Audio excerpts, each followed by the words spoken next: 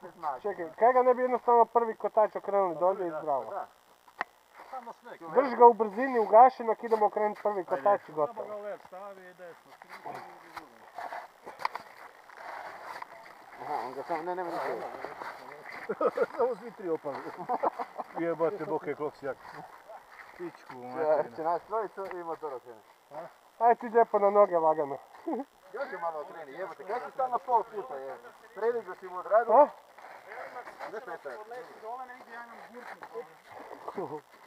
Okrenite se vi lagano, dečki. Velim, ako slučajno negdje odleti dole, imam ja mene.